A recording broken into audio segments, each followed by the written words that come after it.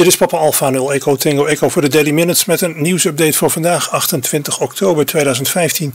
Dit is het bulletin van woensdag. Vanwege grote drukte en tijdsdruk moet ik vandaag een iets eenvoudiger uitzending maken. Als het lukt hebben we vandaag wel een stuk data. Dat zal net als eergisteren zijn in 8 PSK 1000. Dit keer echter niet rond 1500 hertz, maar rond 1800 hertz. Dus 8 PSK 1000 rond 1800 hertz. Het eerste bericht van vandaag betreft de pagina die via hobbyscope.nl te benaderen is met de verschillende repeaters. Rechts op de kaart staat sinds kort een lijstje. Wanneer je via APRS de frequentie of de call sign van een van de repeaters op de site broadcast, dan komt je roepnaam in dat lijstje te staan. Zelf heb ik waargenomen dat in elk geval ook de ingelogde amateurs op Echolink op de betreffende repeaters uit vermeld staan. De bekende Finse website aprs.fi komt met een proef met veel gedetailleerde pictogrammen. De symbooltjes bevinden zich nog in de beta-fase en ze zijn te bekijken door niet op aprs.fi te kijken, maar op beta.aprs.fi. De site werkt ook aan een smartphone-app. Grappig genoeg zag ik het bericht eerst op de Duitse clubsite www.darc.de en pas toen ik het las zag ik dat zij het bericht van de site van Peter PA3PM ham-dmr.nl hadden. Ik ben zelf copyrighthouder van met name teksten en foto's en ik heb daar in het verleden redelijk aan kunnen verdienen. Ik ben er dus niet voor dat copyright wordt afgeschaft. Ik vind echter wel dat je een stap te ver kunt gaan en dat met name grote clubs dat ook vaak doen. Tien jaar geleden was er al een Zuid-Afrikaans bedrijf dat iedereen een rechtszaak aanspande die het getal 24 gebruikte. Zo eisten ze van een Nederlandse blogger zijn internetdomein op dat met 24 begon, omdat zij het auteursrecht op het getal 24 één of twee maanden eerder hadden verkregen dan dat hij zijn website zo genoemd had. De Nederlandse rechter gaf het bedrijf gelijk en de blogger moest zijn site renemen en het domein aan de Zuid-Afrikanen cadeau doen. En nu zijn er weer de auteursrechthouders van het boek 1984 van George Orwell. Een sympathiek boek overigens. Een Amerikaanse radiopresentator werd op zijn vingers getikt omdat de Orwellianen auteursrecht claimen op het getal 1984. De presentator had een t-shirt laten maken met dat cijfer. En de erven Orwell stellen dat ze niet aan merchandising doen, maar wel de rechten van die merchandising claimen. Het is niet te hopen dat ze binnenkort de scholen bij langs gaan om geld te claimen voor alle sommen waar 1984 het antwoord op is. Ik vergat aan het begin van de uitzending nog te melden dat sinds gisteren het datagedeelte in de uitzending, dat meestal eigenlijk alleen in het weekend erin zit, dat dat vanaf nu wordt voorafgegaan door data in mossen. Dus uh, met een woord of 15. De BBC World Service had gisteren ter gelegenheid van de nieuwste James Bond film een interviewtje met enkele geheimagenten van MI5. Dat gebeurt natuurlijk niet zo vaak. De stemmen zijn overigens die van acteurs, dit om de identiteit van de agenten te beschermen. Het fragment is in het Engels, maar het is leuk genoeg om in de uitzending te brengen. And that's the theme tune for the new Bond film Spectre, which premiered in London last night.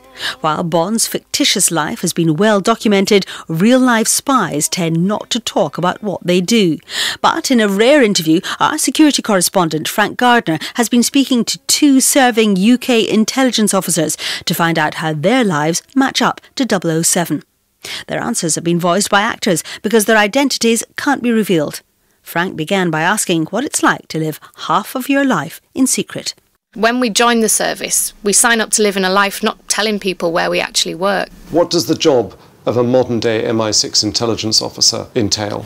The first step is establishing what questions we need answers to, and that's about speaking to ministers and individuals in Whitehall. Then the job is to target the people with access to the secret intelligence, and then I obtain the secrets for the benefit of the UK.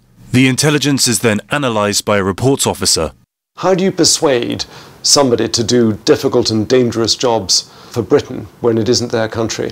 One thing I've constantly seen throughout my career is that people recognise that the UK is a force for good in the world, and that our standing on the international stage. Well, sorry, I have to interrupt. I mean, mostly, not always. Sure. The thing that underpins all of this is that these individuals willingly enter into a relationship. Presumably, you can't be expected to keep it completely to yourself if you work for MI6. So who can you tell and what how much can you tell them? We are permitted to tell our closest family members, so our parents and our partners. And how much can you tell them? We can tell them where we work, but any of our operational detail we would refrain from telling anyone. It must be quite fun in a way, pretending to be something you're not. Absolutely. For me, it's one of the most fun parts of the job. Are you licensed to kill?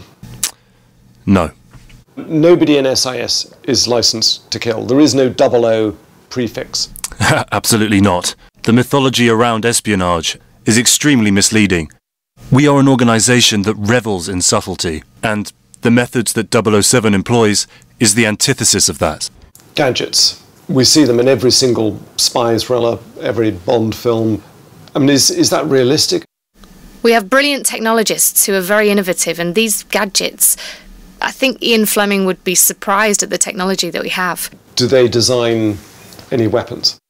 We stop short of designing anything that will do harm to other humans. In reality, is it dangerous work? It would be untrue of me to say that none of our work is free of danger. There are challenges that I have to overcome that often cause your heart to skip a beat from time to time. There are some people who think that MI6 operates outside the law. Hmm. What reassurance could you give people that it operates within the law? Everything that we do must adhere to UK law. We aren't like Bond, and the fact that we need to ensure that we continue operating in the shadows means that we wouldn't dream of having anybody like Bond in our organisation. Two British spies speaking there to the BBC's Frank Gardner.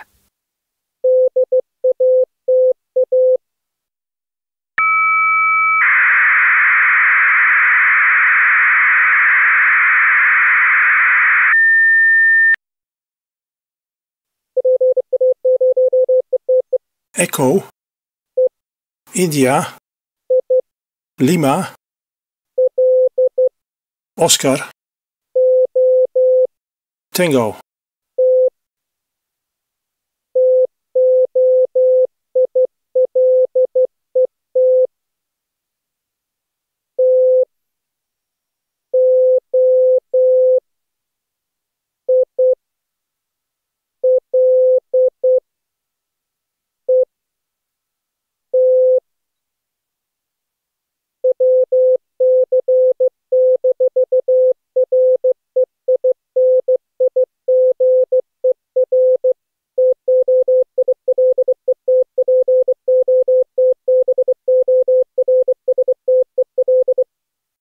Daily Minutes zijn dagelijks om 1900 uur te beluisteren op PI2 NOS en ochtends om half elf. Verder zijn de uitzendingen onder andere te beluisteren op youtube.com schuine streep PA0ETE.